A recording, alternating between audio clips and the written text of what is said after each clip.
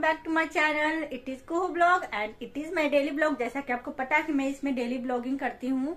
तो आज मैंने सुबह से कोई ब्लॉगिंग नहीं किया क्योंकि आज शाम को जाना था मुझे पार्टी में तो उसी का तैयारी कर रही थी मैं।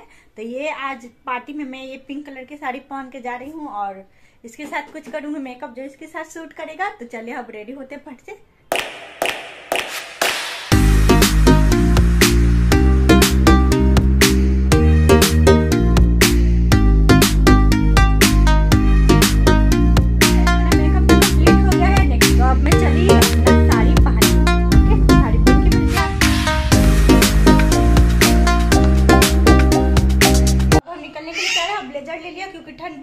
पहनने में काम आएगा। तो चलते हैं।